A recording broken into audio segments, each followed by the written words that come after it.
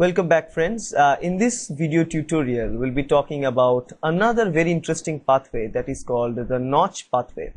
Notch pathway is also a type of developmental uh, pathway because it is related with the developmental stages or embryogenesis of multicellular organisms, many multicellular organisms actually. And notch pathway works slightly differently in a notch specific manner uh, compared with the other type of pathway like WNT or Hedgehog pathway because in this case uh, of notch pathway you will see what is called a notch cleavage or cleavage mediated pathway. So let's see what we mean.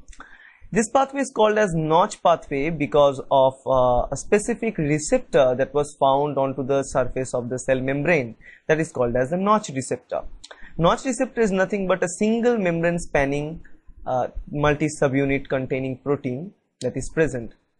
Most of its structures are extracellular very small amount of uh, this protein is in is present in the cytosol.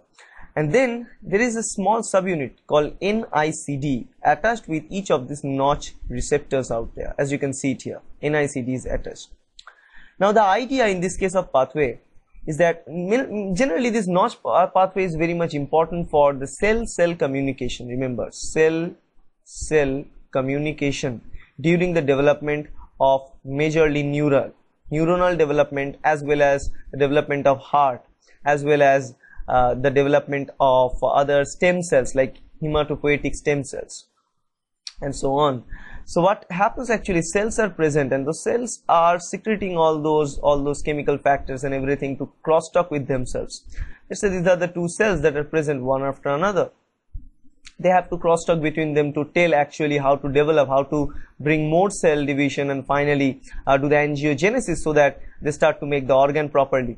Now in that case, uh, that signaling can be passed through a process, let's say one cell secretes a particular chemical and it migrates to another cell and tell the cell.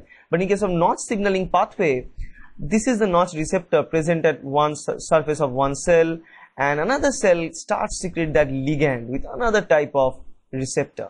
So that ligand is denoted here with this green color. Let's say this ligand is from another cell,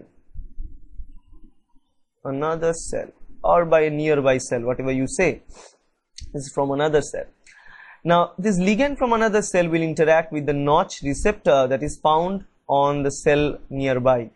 And in this case, this ligand notch binding will change the structure of that protein, slight modification of the structural conformation and as a result there is a functionality of this protein called gamma secretase as you can see it here. As the name suggests this help in secretion of certain things. What are the what are the thing? In this case this gamma secretase helps to cleave this NICD portion. And what we'll actually do this ligand and notch and sometimes some other receptor also from other cell will bring this notch out from this cell. And as a result NICDs get get cleaved. And one NICDs get cleaved this NICD is now being transported inside the nucleus. And then it will turn on the notch signaling pathway. Because normally there are certain obviously there are certain target genes. In any signaling process there should be target genes. In case of notch signaling pathway also there are target genes which should be transcribed into mRNA and then later translated into proteins. In those case those genes are turned off because there is a inhibitory transcription factor sitting on the promoter of those DNA. As you can see, it's CSL N-core. These are the two different proteins combined together blocking the activity and expression of certain genes inside the DNA, uh, inside the nucleus. Now, normally it's turned off, but now one NICD is inside the nucleus. This NICD will dissociate N-core from CSL. And once CSL becomes free from N-core, it becomes activating agent. In that case, it will also bring another protein components like P300, MAML and then finally this NICD helps this MAML and P300 to attach with the CSL and make CSL activated. So make an activation complex. This activation transcription factor complex helps in turning on many downstream genes uh, which are called the target genes for notch pathway. And finally, it helps to establish the task not notch pathway is being doing. That is simply the angiogenetic genetic pathways, neuronal development, and also development of uh, the cardiac valve, and also development of you know paracrine system in certain extent, and also hematopoiesis is an important task that is played by the notch pathway. It's extremely important. It was found in not only in human but also found in C. elegans, uh, Drosophila in all these cases. So it's a very very important pathway and it is a crosstalk pathway between two different cells.